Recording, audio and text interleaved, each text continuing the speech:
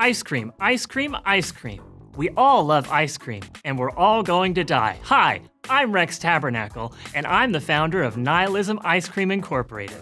When I started my company back in 1923, I did so with one founding philosophy.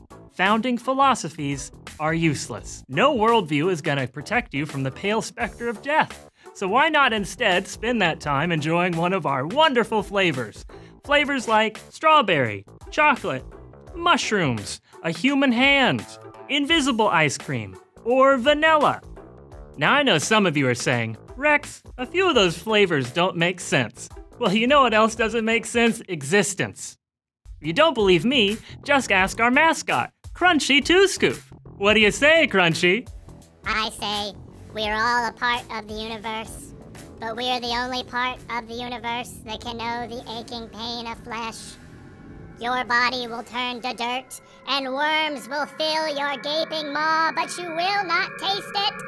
There is no escaping the shackles of life, so why not kick back with a scoop?